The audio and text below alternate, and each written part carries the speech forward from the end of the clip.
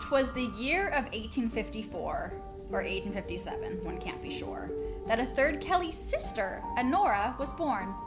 Her father a drunk, a tailor and fiend, her mother in the ground, being eaten.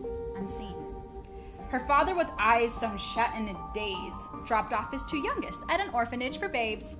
Her eldest sister would work in a crib.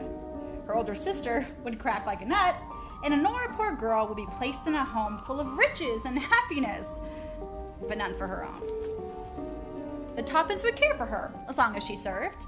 A new name they would give her, Jane Toppan, they said. She'd be a daughter indentured.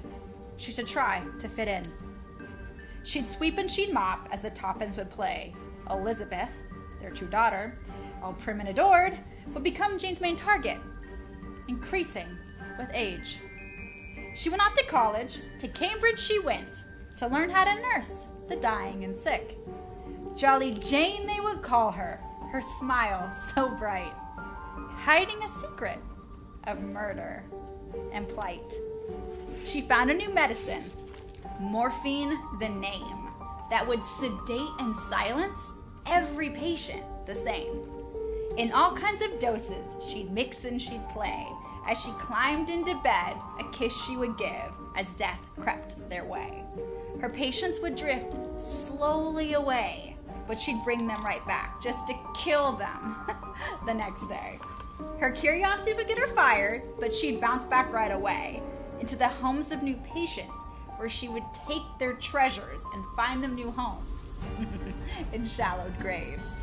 Elizabeth would fall ill, and to her side would run Jane to play nurturing sister, who would only increase the pain.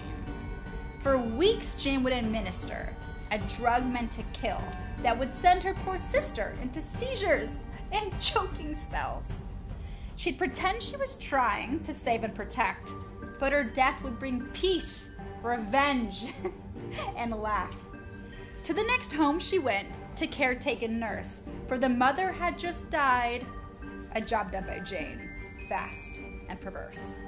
She'd slowly poison the whole Davis household the father, his sister, two daughters, in a murder ice cold. The youngest was cut open and tested for poison. Jane's game was up. Quickly, she was taken.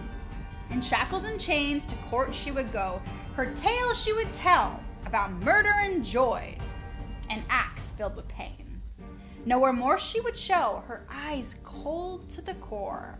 Her goal, she would say, was to kill more than any before. The jury would come to a conclusion so fast. Despite what she claimed, she was mad. That was that. In the truck she was thrown, to the asylum she flew, and away like a dash, Jolly Jane was locked up to repent for her sins. But no course of treatment could cure her cruel soul, for in her dreams would be faces, dancing and grim, each victim crying, on her face a grin. And just like her sister, in the asylum she would die. You're playing her words, your life shall be mine.